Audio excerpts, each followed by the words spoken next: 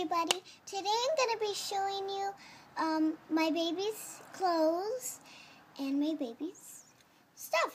So let's get on with it. Here is her one piece. It's my favorite. it's my favorite um, one piece for her out of all the outfits. Then this dress, it looks small, but it actually does fit her.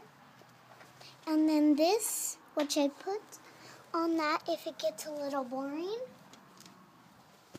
And these pants. And these panties that she has.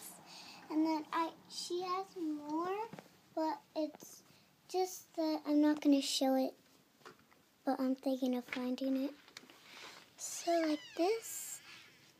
And then there's this. She can breathe from there.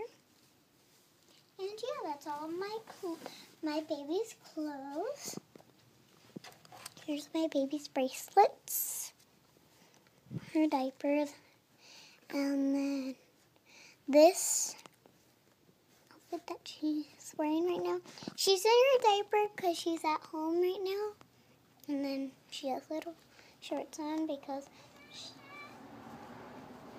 she has this Okay, so let's end this video. Bye!